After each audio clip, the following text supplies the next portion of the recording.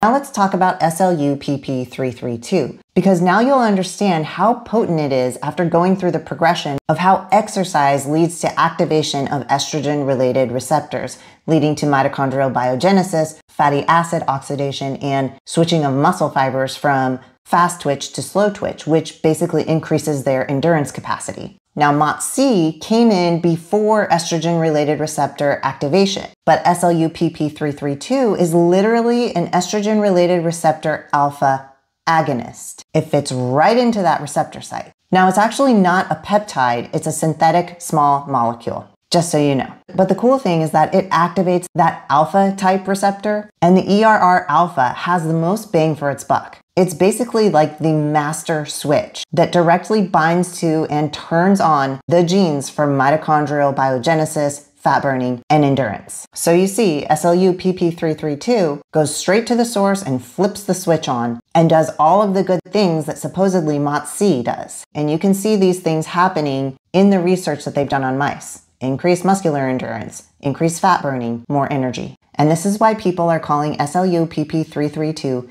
exercise in a bottle. You literally just have to take it to get all of those effects.